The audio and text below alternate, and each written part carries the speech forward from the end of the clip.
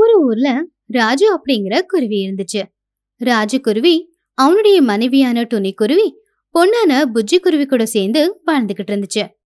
ராஜு குருவி ரொம்ப பெரிய பணக்காரன். பலவிதமான வியாபாரங்களை செஞ்சு அது மூலமா பணத்தை சம்பாதிச்சுக்கிட்டு இருந்தான். ராஜு குருவிக்கு ஊர்ல இருக்கிற எல்லாருமே ரொம்பவும் மரியாதை கொடுப்பாங்க. யாருக்கு என்ன உதவி தேவைப்பட்டாலும் சரி அவங்க எல்லாரும் ராஜு கிட்ட தான் வந்துகிட்டு இருந்தாங்க. ராஜுவும் அவன்கிட்ட இருக்கிற பணத்துல அவங்களுக்கு செய்ய முடியுன்ற உதவிய செஞ்சுக்கிட்டு இருந்தான். அப்படி மெதுவா மெதுவா ராஜுக்குருவி அந்த ஊருக்கே தலைவனா மாறிட்டான். ராஜுவுக்கு மட்டும் இல்ல ராஜு பொண்டாட்டு துணியையும் அந்த ஊர்ல இருக்கிற எல்லாருமே மதிச்சாங்க. துணிக்குருவியும் அதோட புருஷ மாதிரியே ஏதாவது வியாபாரம் செய்யணும் அப்படின்னு யோசிச்சா. ஒரு நாள் துணிக்குருவி ஏதாவது வியாபாரம் செய்யலாம் அப்படிங்கிற அதோட யோசனைய புருஷ ராஜு கிட்ட சொல்லுச்சு. நானும் ஏதாவது வியாபாரம் செய்யணும் அப்படின்னு யோசிச்சுட்டு இருக்கேங்க எனக்கும் வியாபாரம் செஞ்சு பணம் சம்பாதிக்கணும் அப்படிங்கிற எண்ணம் இருக்கு. அட நமக்கு பணத்துக்கு ஏதாவது குறைச்சல் இருக்கா? நான் தான் உங்க எல்லாரையும் நல்லபடியா தானே பாத்துக்கிறேன். அப்படி இருக்கும்போது நீ எதுக்காக தனியா வியாபாரம் பண்ணணும்னு ஆசைப்படுற?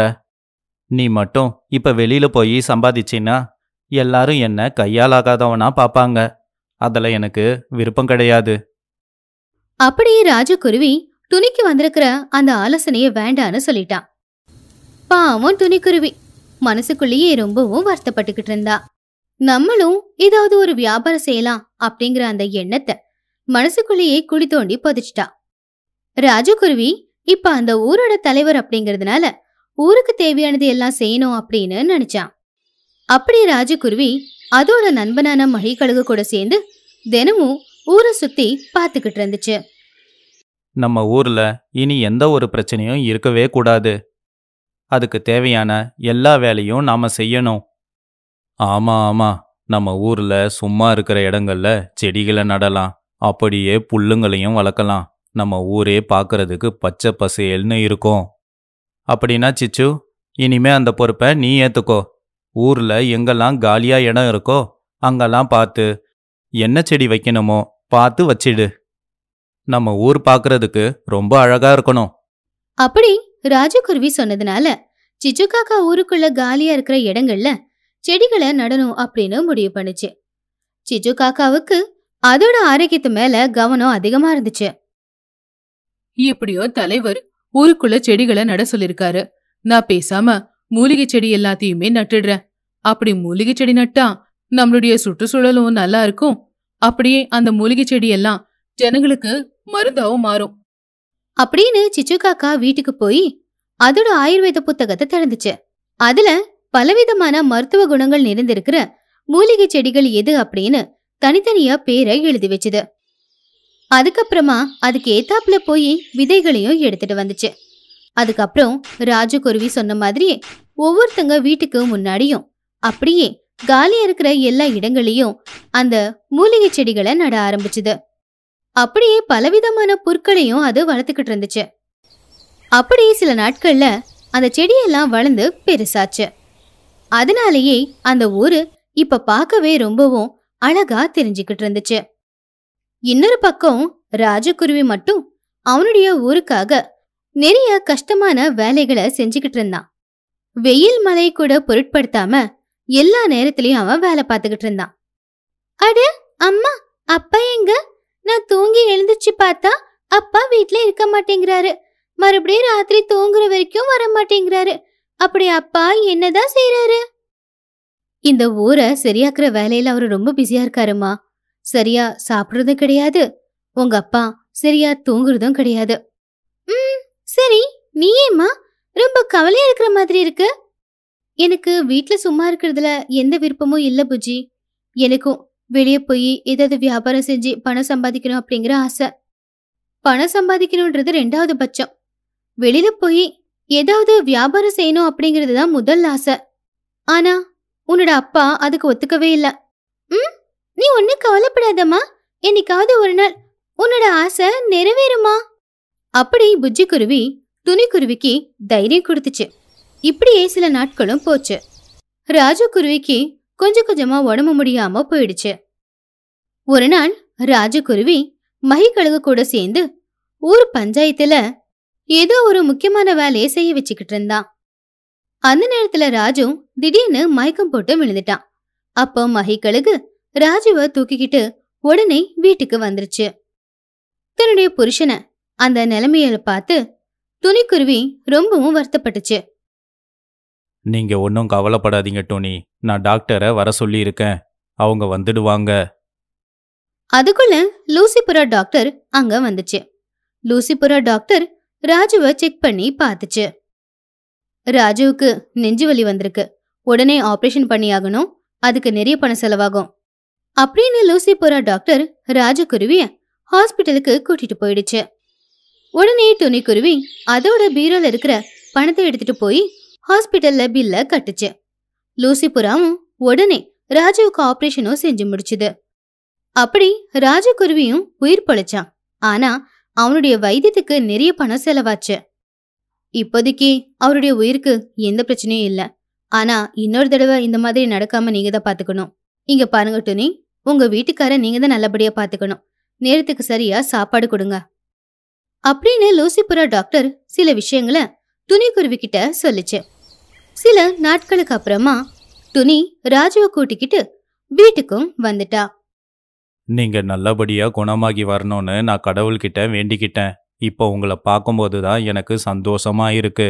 உங்க எல்லாரோட வேண்டுதல் தான் என்னை காப்பாத்தி இருக்கு உங்ககிட்ட ஒரு முக்கியமான விஷயம் பேசலான்னு தான் வந்தேன்.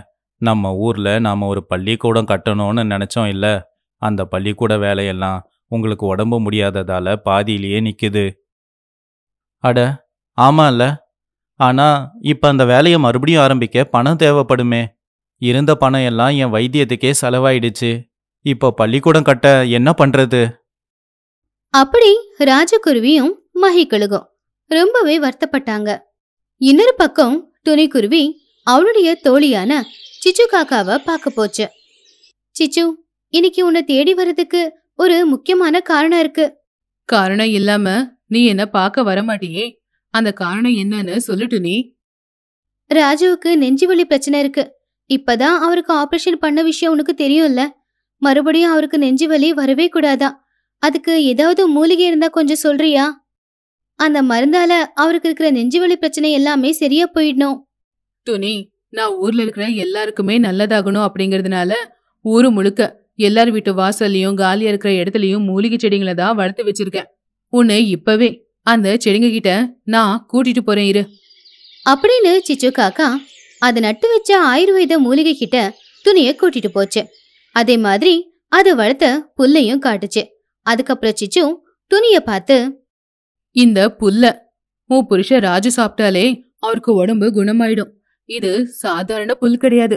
கோதுமை புல்லு. இத சாப்பிட்டுக்கிட்டா நெஞ்சு வலி பிரச்சனைன்றது எதுவுமே இருக்காது.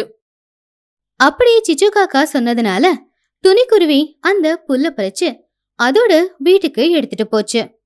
அந்த புல்லுல கொஞ்சம் பகுதியை எடுத்து அதை இடிச்சு ரசம் எடுத்து அத ராஜுவுக்கு குடிக்க கொடுத்துச்சு. ச்சே ச்சே இதை என்னால் குடிக்கவே முடியல. எனக்கு உடம்பு சரியில்லாம போனா கூட பரவாயில்ல. ஆனா இந்த ஜூஸை மட்டும் நான் குடிக்கவே மாட்டேன். ஆனா துணி மட்டும். எப்படியாவது அந்த புல்லோட ரசத்தை ராஜுவுக்கு குடிக்க கொடுக்கணும் அப்படின்னு முடிவு பண்ணா. சின்ன வயசுல இருந்தே நல்லாவே சமையல் தெரிஞ்சு வச்சுக்கிட்டு இருந்த துணிக்குருவிக்கு ஒரு யோசனையும் வந்துச்சு. துணிக்குருவி உடனே அந்த புல்ல அரைச்சு அதோட ரசத்தை எடுத்து அதுக்கப்புறமா கோதுமை மாவுல அந்த ரசத்தை ஊத்தி அதுல சில மசாலாவையும் போட்டு அதுக்கப்புறம் அதை வச்சு ஒரு புல் சப்பாத்தி சுட்டுது. அப்படி அன்னைக்கு இரவு துணிக்குருவி ராஜு குருவிக்கு அந்த புல் சப்பாத்திய கொடுத்துச்சு. ராஜகுருவியும் அந்த புல் சப்பாத்திய ரொம்ப சந்தோஷமா தான் சாப்பிட்டான். நான் போட்ட பிளான் முழுசா ஒர்க் அவுட் ஆயிடுச்சு போல. பிளானா என்ன பிளான் அது? உங்களுக்கு காலையில நான் ஒரு ஜூஸ கொடுத்தேன்ல அந்த ஜூஸ உங்களால குடிக்க முடியல தானே? நான் அந்த ஜூஸ மாவுல ஊத்தி இந்த சப்பாத்திய சுட்டு எடுத்திருக்கேன். ஆனா இப்ப இந்த சப்பாத்திய நீங்க விரும்பி சாப்பிடுறீங்க. இதோட சுவை உண்மையிலேயே நல்லா இருக்கு டோனி. பேசாம நீ ஏன் இந்த சப்பாத்தியை சுட்டு விற்பனை செய்யக்கூடாது? நீங்க அனுமதி கொடுத்தா நான் உடனே இந்த சப்பாத்தி வியாபாரத்தை ஆரம்பிச்சிடுவேன். நான் உனக்கு அனுமதி கொடுக்குறேன் டோனி. இப்போதைக்கு பணம் இருந்தா தானே? பள்ளிக்கூடத்தையும் நம்மளால கட்ட முடியும்.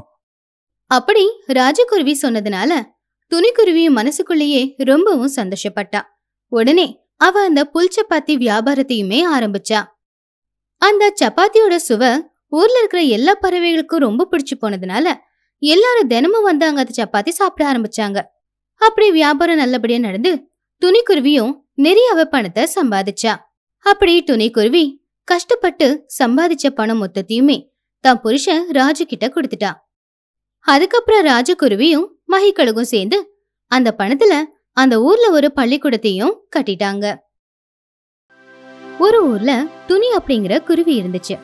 துணி குருவி அவளுடைய பொண்ணான புஜ்ஜி கூட சேர்ந்து தான் வாழ்ந்துகிட்டு இருந்தா. துணிக்குருவியோட வீட்டுக்கு பக்கத்துல தான் சோட்டு கிளியோட வீடு இருந்துச்சு. சோட்டு கிளியோட பிள்ளையான பன்னு கிளியும் புஜ்ஜி குருவியும் நல்ல நண்பர்கள். எப்பவுமே ஒன்னா சேர்ந்து தான் விளையாடிக்கிட்டு இருப்பாங்க. புஜ்ஜி குருவி பன்னு கிளி மாதிரியே துணி குருவியும் சோட்டு கிளியும் கூட நல்ல தோழிகள். ஒருத்தங்களுக்கு ஒருத்தங்க உதவி செஞ்சுக்கிட்டு அவங்க வாழ்க்கைய வாழ்ந்துகிட்டு இருந்தாங்க. துணிக்குருவி அந்த ஊர்ல ரொம்ப ஃபேமஸான டைலர் எந்த மாதிரியான துணியா இருந்தாலும் சரி ரொம்ப நல்லபடியா தைச்சு கொடுத்துக்கிட்டு இருந்துச்சு. அப்படி துணி தைச்சு கொடுக்கற துணிய சோட்டு ஊர்ல கொண்டு போய் வித்துக்கிட்டு இருக்கோம். அப்படி ரெண்டு பேரும் கிடைக்கிற வருமானத்துல பாதி பாதி எடுத்துப்பாங்க. அப்படி ரெண்டு பேரும் சேர்ந்து ஒன்னாதான் எல்லாத்தையும் செஞ்சுக்கிட்டு இருந்தாங்க. புஜ்ஜி குருவியும் பன்னு கிளியும் ஒரே கிளாஸ்ல தான் படிச்சுக்கிட்டு இருந்தாங்க. ஆனா புஜ்ஜிக்கும் சரி பன்னுக்கும் சரி படிப்பு மேல கொஞ்சம் கூட இன்ட்ரெஸ்டே இருக்கல. எப்பவுமே சும்மா விளையாடிக்கிட்டு ஸ்கூலுக்கு போகாம ஜாலியா இருக்கலாம் அப்படின்னு தான் நினைப்பாங்க. ஆனா அவங்களுடைய அம்மாக்கள் மட்டும் வலு கட்டாயமா அவங்கள ஸ்கூலுக்கு அனுப்பி வைப்பாங்க. என்ன புஜ்ஜி? எதுக்கு இப்படி அழுதுகிட்டு உக்காந்துக்கிட்டு இருக்க? ஒரு பக்கம் ஸ்கூலுக்கு போறதுக்கு டைம் ஆகிடுச்சு. நீ என்னனா இப்படி அழுதுகிட்டு இருக்க? ஆ அம்மா எனக்கு ரொம்ப வயிறு வலியா இருக்கு. என்னால ஒரு அடி கூட முன்னாடி எடுத்து வைக்க முடியல. இன்னைக்கு நான் நம்ம வீட்லயே இருக்கிறம்மா. அப்படி புஜ்ஜி குருவி துணி குருவி கிட்ட சொல்லுச்சு. ஆனா துணி குருவிக்கு புஜ்ஜி நடிக்கிறா அப்படிங்கிற விஷயம் ரொம்ப தெளிவாவே தெரிஞ்சது. ஐயோ அப்படியா? இந்த விஷயத்த முன்னாடியே சொல்லலாம்ல? இன்னைக்கு உனக்கு பிடிச்ச சிக்கன் பிரியாணிய சமைச்சு வச்சிருக்க ஆ சரி பரவாயில்ல. அந்த பிரியாணிய நானே சாப்பிட்டுக்கிறேன். உனக்காக நான் மோர் சாதத்தை ரெடி பண்றேன். ஹா இல்ல இல்ல. எனக்கு சிக்கன் பிரியாணி தான் வேணும். வயிறு வலினா என்னப்போ அது கொஞ்ச நேரத்துல சரியா போயிடும். அட ஆச்சரியமா இருக்குதே. காலையில இருந்த வயிற்று வலி இப்போ சுத்தமா இல்லை. அப்படின்னா இப்போ ஸ்கூலுக்கு கிளம்பு. நான் எந்த ஒரு சிக்கன் பிரியாணியும் தயார் செய்யல. வெண்டைக்காய் சமைச்சிருக்க. டிஃபன் பாக்ஸ் மொத்தத்தையும் காலி செஞ்சுட்டு அப்புறமா வீட்டுக்கு வா. அப்படி துணிக்குருவி புஜ்ஜி கிட்ட உண்மைய வாங்கினா. புஜ்ஜி குருவி எதுவும் செய்ய முடியாம ஸ்கூல் பேக்கையும் அப்படியே லஞ்ச் பேக்கையும் எடுத்துக்கிட்டு ஸ்கூலுக்கு கிளம்பிட்டா. அப்படி போகும்போது வழியில பன்னு கிளிய பார்த்தான். பன்னு கிளியும் எப்படியாவது ஸ்கூலுக்கு போகாம இருந்துடலாம் அப்படின்ற பிளான் ஒர்க் அவுட் ஆகலைங்கிறதுனால அவனும் ரொம்ப வருத்தப்பட்டு தான் அங்க நின்னுக்கிட்டு இருந்தான். அதுக்கப்புறம் ரெண்டு பேரும் பள்ளிக்கூடத்துக்கு போனாங்க. புஜ்ஜிக்கும் சரி பன்னுக்கும் சரி. கிளாஸ் ரூம்ல பாடம் எடுக்கும்போது அது கேக்குறதுல இன்ட்ரெஸ்டே இருக்கல. ஆனா அவங்க பிடி டீச்சரான சிச்சு காக்கா கத்து கொடுக்கற எக்ஸசைஸ் பண்றதுனா விளையாட்டை விளையாடுறதுனா அவங்களுக்கு ரொம்ப பிடிக்கும். ஒவ்வொரு நாளும் சிச்சு காக்கா டீச்சருக்காகவே அவங்க ஸ்கூலுக்கு போக ஆரம்பிச்சாங்க. இப்படியே நாட்களும் போச்சு. துணிக்குருவியும் சோட்டு கிளியும் ரொம்ப கஷ்டப்பட்டு வேலை பார்த்துக்கிட்டு இருந்தாங்க. ஒரு பக்கம் துணி கஷ்டப்பட்டு துணிகளை தைச்சு கொடுத்தா இன்னொரு பக்கம் சோட்டு கிளி அந்த துணிகளை எல்லாத்தையுமே பேக் பண்ணிக்கிட்டு இருந்தா. அப்படி அவங்க ரெண்டு பேரும் துணியெல்லாம் தைச்சு முடிச்சதுக்கு அப்புறமா அது விக்கிறதுக்கு மார்க்கெட்டுக்கு எடுத்துட்டு போனாங்க. அன்னைக்கு சோட்டு கிளி கூட சேர்ந்து துணிக்குருவியும் அத விக்கிறதுக்காக வெளியில வந்துச்சு. அப்படி துணிக்குருவியும் சோட்டு கிளியும் சேர்ந்து அவங்க தைச்ச துணிகளை வியாபாரம் செஞ்சுக்கிட்டு இருந்தாங்க. அதுக்குள்ள அவங்க பக்கத்துல சிச்சு காக்கா வந்துச்சு. துணிக்குருவி கிட்ட இருக்கிற துணிகளை பார்த்துச்சு. சிச்சு காக்காவும் அங்க இருக்கிறதுல ஒரு அழகான புடவைய வாங்கணும்னு நினைச்சது. அப்படி புடவை வாங்கணும் அப்படின்னு நினைச்சதுனால துணிக்குருவியும் சோட்டு கிளியும் அவங்க கிட்ட இருந்த பலவிதமான புடவைகளை எடுத்து காட்டினாங்க. அதுல ஒரு சிகப்பு நிறத்துல இருக்கிற புடவை சிச்சுவுக்கு ரொம்ப பிடிச்சு போச்சு. இந்த புடவை எனக்கு ரொம்ப பிடிச்சிருக்கு. இதோட விலை என்ன? இந்த புடவையோட விலை ஆயிரம் ரூபாய் நீங்க மட்டும் இத கட்டுனா ரொம்ப அழகா இருப்பீங்க. அப்படி விலைய கேட்டதும் சிச்சு காக்கா திடீர்னு ரொம்பவே ஷாக் ஆயிடுச்சு. பாவம் அதுகிட்ட அவ்வளோ பணம் இருக்கல. அதனால சிச்சு காக்கா அங்கிருந்து போயிடலாம் அப்படின்னு கிளம்புச்சு. வாங்கல அப்படின்னா எதுக்கு எல்லா புடவைங்களையும் எடுத்து போட சொல்லணும்? இப்போ மறுபடியும் நம்ம இதெல்லாத்தையும் எடுத்து வைக்கணும். நம்ம கஷ்டம்லாம் இவங்களுக்கு சுத்தமா புரியாது. அப்படி துணிக்குருவியும் சோட்டு கிளியும் விக்கிறதுக்காக எடுத்துட்டு வந்த துணிமணிகளை பேக் பண்ணி எடுத்துக்கிட்டு அங்கிருந்து வீட்டுக்கு போயிட்டாங்க. இன்னொரு பக்கம் சிச்சு காக்கா ரொம்பவே வருத்தப்பட்டுக்கிட்டு இருந்துச்சு. சிச்சு காக்கா அதோட புள்ளையான சின்னு காக்கா கூட சேர்ந்து வாழ்ந்துட்டு இருந்துச்சு. சின்னு காக்காவுக்கு ஒரு பயங்கரமான வியாதி இருந்துச்சு. அந்த வியாதியால எப்பவுமே அவன் படுத்த படுக்கையாதான் இருப்பான். சிச்சு காக்கா அது சம்பாதிக்கிற பணம் மொத்தத்தையுமே சின்னு காக்காவோட ட்ரீட்மெண்ட்காக தான் செலவு பண்ணிக்கிட்டு இருந்துச்சு. சின்னு காக்காவுக்காக தான் சிச்சு காக்கா அதோட ஆசைகளை எல்லாத்தையுமே விட்டுட்டு சாதாரணமான வாழ்க்கையை வாழ்ந்துக்கிட்டு கொஞ்சம் பணத்தை எடுத்து வச்சுக்கிட்டு இருந்துச்சு. அப்படி சிச்சு காக்காவோட பிறந்த நாளும் வந்துருச்சு. பன்னு கிளியும் புஜ்ஜி குருவியும் சிச்சு காக்காவோட வீட்டுக்கு போய் அவங்களுக்கு வாழ்த்து தெரிவிக்கணும் அப்படின்னு நினைச்சாங்க. நினைச்ச மாதிரியே புஜ்ஜி பன்னு ரெண்டு பேருமே சிச்சு காக்கா வீட்டுக்கு போனாங்க. சிச்சு காக்கா அவங்களுக்கு சாப்பிட்றதுக்கு ஸ்வீட்டை கொடுத்துச்சு. புஜ்ஜி குருவியும் பன்னு கிளியும் சிச்சு காக்காவோட காலில் விழுந்து பிறந்த நாள் வாழ்த்துக்களை தெரிவிச்சாங்க. அதை பார்த்து சிச்சு ரொம்பவே சந்தோஷப்பட்டுச்சு. புஜ்ஜி பன்னு ரெண்டு பேருமே படுத்த படுக்கையா இருந்த சின்ன காக்காவை கவனிச்சாங்க. ஆ என்ன டீச்சர்? உங்க பையன் எப்ப பாரு இப்படி தூங்கிக்கிட்டே இருக்கிறானே. அவனுக்கு என்ன ஆச்சு என்னோட பையனுக்கு பிரெயின் டியூமர் அவனுக்கு ஒரு பெரிய ஆபரேஷன் செய்யணும். ஆபரேஷன் மட்டும் செய்யலனா அவன் படிக்கிறதுக்கு வாய்ப்பே இல்ல. அதுக்குதான். இப்படி ஸ்கூல்ல வேலை பார்த்துக்கிட்டு பணத்தை சம்பாதிச்சுக்கிட்டு. அப்படி சிச்சு காக்காவோட கவலைய பார்த்து பன்னு கிளியும் புஜ்ஜி குருவியும் ரொம்பவும் வருத்தப்பட்டாங்க. அவங்க அவங்களுக்கு ரொம்ப பிடிச்ச டீச்சருக்கு எப்படியாவது உதவி செய்யணும் அப்படின்னு நினைச்சாங்க. ஆனா அவங்களுக்கு எப்படி உதவி செய்யறது அப்படிங்கறது மட்டும் அவங்களுக்கு புரியவே இல்லை. ரெண்டு நாள் வரைக்குமே அவங்க ரெண்டு பேரும் இதை பத்தியே தான் யோசிச்சுட்டு இருந்தாங்க. ஒரு நாள் பன்னு கிளியும் புஜ்ஜி குருவியும் ஸ்கூலுக்கு போய்கிட்டு இருந்தாங்க. அப்போ வழியில அவங்க மகிக்கழுக பார்த்தாங்க. மகிக்கழுகுக்கு ஒரு பெரிய கடை இருந்துச்சு.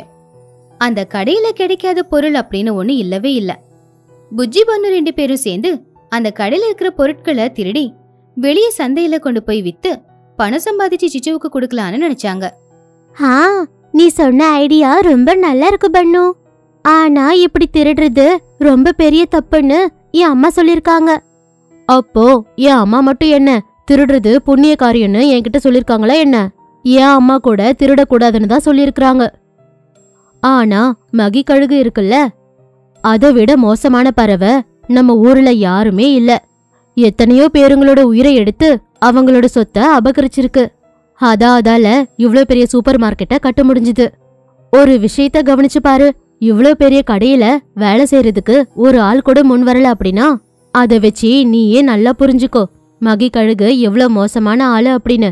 இப்படிப்பட்ட ஆளுங்க கிட்ட இருந்து திருடி அத நல்லவங்களுக்கு கொடுத்தா தப்பே இல்ல. அப்படி பண்ணு கிளி. புஜ்ஜி குருவிய திருடுறதுக்கு ஒத்துக்க வச்சான். அடுத்த நாள் காலையில புஜ்ஜி குருவி அந்த சூப்பர் மார்க்கெட்டுக்கு போனான். அங்க இருக்கிற நிறைய பொருட்களை எடுத்து அவ ஒரு கூடையில வச்சுக்கிட்டா அதுக்கப்புறம் அவ சுத்தி முத்தி பார்த்துக்கிட்டு இருந்தா. அந்த கடையில இருக்கிற பொருட்களை எல்லாம் எடுத்துட்டு போய் ஜன்னல் வழியா வெளியே நின்னுக்கிட்டு இருந்த பன்னு கிளி கிட்ட கொடுத்தா. பன்னு கிளி அந்த பொருட்களை எடுத்துக்கிட்டு அங்கிருந்து போயிட்டான். இந்த பக்கம் புஜ்ஜி குருவி ஒரு சாக்லேட்டை மட்டும் வாங்கிக்கிட்டு அதுக்கு கொடுக்க வேண்டிய பணத்தை கொடுத்துட்டு அதுக்கப்புறமா கடையிலிருந்து அது வெளியில பறந்து வந்துருச்சு. அப்படி அவங்க அன்னைக்கு திருடின எல்லா பொருட்களையுமே பட்டணத்துல இருக்கிற மார்க்கெட்ல வித்தாங்க. அப்படி பொருள் எல்லாமே வித்து தீர்ந்துருச்சு அவங்க கிட்ட கை நிறைய பணமும் இருந்துச்சு. அவங்க அன்னைக்கு சம்பாதிச்ச பணத்தை ஒரு உண்டியல்ல போட்டு வச்சாங்க. அடுத்த நாள் புஜ்ஜி குருவி கடையோட ஜன்னல் கிட்ட காத்துக்கிட்டு இருந்துச்சு. இந்த தடவை கடைக்குள்ள போனது பன்னு கிளி. பன்னு கிளியும் நிறைய பொருட்களை ஒரு கூடையில போட்டுக்கிட்டான். அதுக்கப்புறம் ஜன்னலுக்கு வெளியே இருக்கிற புஜ்ஜி கிட்ட ஒவ்வொன்னா கொடுத்துக்கிட்டு இருந்தான். புஜ்ஜி அந்த பொருள் எல்லாத்தையுமே எடுத்துக்கிட்டு அங்கிருந்து போயிடுச்சு. இந்த பக்கம் பன்னு கிளியும் எதுவும் தெரியாத மாதிரி ஒரு சாக்லேட்டை மட்டும் வாங்கி அதுக்கான பணத்தை கொடுத்துட்டு கடையை விட்டு வெளியில வந்துருச்சு. மறுபடியும் அன்னைக்கும் அந்த பொருட்களை எல்லாத்தையுமே அவங்க ரெண்டு பேரும் வித்தாங்க. அப்படியே சில நாட்கள் வரைக்கும் பொருட்களை திருடி அவங்க அதை மார்க்கெட்ல வித்து நிறைய பணத்தை சம்பாதிச்சாங்க. இவங்கள பார்த்து மகிக்கழுகுக்கு ஒரு நாள் சந்தேகம் வந்துச்சு. ஹா தினமும் இந்த ரெண்டு பசங்களும் என்னோட கடைக்கு வராங்க. மணி கணக்கா கடையில அங்கேயும் இங்கேயுமா சுத்துறாங்க. ஆனா கடைசியில ஒரே ஒரு சாக்லேட்டை வாங்கிட்டு இங்கிருந்து அவங்க போயிடுறாங்க. இவங்கள பார்த்தா ஏதோ தப்பா இருக்கே. இன்னைக்கு இவங்கள ஃபாலோ பண்ணியே ஆகணும். அப்படி அன்னைக்கு கூட எப்பவும் போலவே புஜ்ஜி பண்ணு ரெண்டு பேரும் பொருட்களை திருடி மகிக்கழுகுக்கு தெரியாம அத விற்க ஆரம்பிச்சாங்க. மகிக்கழுகு அவங்கள தேடிக்கிட்டு பட்டணத்துக்கே போயிடுச்சு. இன்னொரு பக்கம் தைச்ச துணிகளை விற்கிறதுக்காக துணிக்குருவியும் சோட்டு கிளியும் கூட அப்போ பட்டணத்துக்கு வந்திருந்தாங்க. துணி சோட்டு ரெண்டு பேருமே அவங்க பசங்க வியாபாரம் செஞ்சுக்கிட்டு இருக்கிறத பார்த்தாங்க. அதை பார்த்து துணி சோட்டு ரெண்டு பேருமே அவங்க பசங்கள கேள்வி கேட்டாங்க. ஹா அவங்கள கேட்டா என்ன சொல்லுவாங்க? என்ன கேளுங்க உண்மை என்னன்னு நான் சொல்றேன். பசங்க ரெண்டு பேரும் ரொம்ப நாளாவே என்னோட கடைக்குள்ள வந்து பொருட்கள் எல்லாத்தையும் திருடிட்டு போய் இதோ இங்க கொண்டு வந்து இப்படி வித்துக்கிட்டு இருக்காங்க. இன்னைக்கு இவங்கள பின்தொடரும் போதுதான் எனக்கு அந்த விஷயமே புரிஞ்சுது. அப்படி மகிக்கழுகு சொன்னதை கேட்டு துணிக்குருவிக்கும் சோட்டு கிளிக்கும் ரொம்பவும் கோவம் வந்துருச்சு. ரெண்டு பேரும் அவங்க பசங்களை அடிக்க ஆரம்பிச்சாங்க. என்ன காரணம் அப்படின்னு கேட்டப்போ அவங்க இப்படி சொன்னாங்க. ஹா இதெல்லாம் நாங்க எங்க சிச்சு காக்கா டீச்சருக்காக தாமா செஞ்சோம்.